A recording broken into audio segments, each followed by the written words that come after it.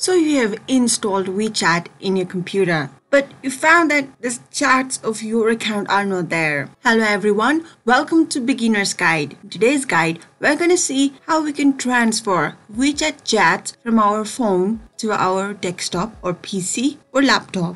It's very straightforward. You just need to follow these steps. Once you open WeChat, you get a scan to login page like this. So whichever account you want to log into, scan this QR from that phone Scan completed. In your phone, you will have a page like this. In the auto sync recent messages, you need to check that. Otherwise, your messages of WeChat will not be transferred to your Windows. Once you've checked this auto sync recent messages, and click login from your phone, the messages in your Windows will automatically be synced to your accounts, to your account's messages. Now you know how to transfer WeChat chats to Windows. Thank you guys for watching. If you like this video, do give this video a big thumbs up. And for future video updates, make sure you subscribe to our channel Beginner's Guide. Until next time, bye-bye.